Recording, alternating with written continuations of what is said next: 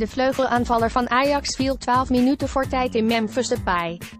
Op het moment dat je klaar staat om in te vallen krijg je wel een beetje kriebels in je buik, vertelt Kluivert in gesprek met Fox Sports. Dit is het hoogtepunt van mijn carrière tot nu toe.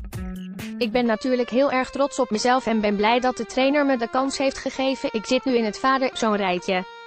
Ik moet nog veel meer bewijzen dan mijn vader, maar dat ik nu heb mogen debuteren is wel een speciaal moment. Kluivert de mede-debutant Guus Tilgave na afloop van de wedstrijd een kort praatje in de kleedkamer. Ik moest zelf ook een kleine speech houden. Het was heel mooi om zoiets moois te beleven met mijn teamgenoten. Dat wil ik graag vaker doen. Dat gaat ook zeker gebeuren, als het aan mij ligt.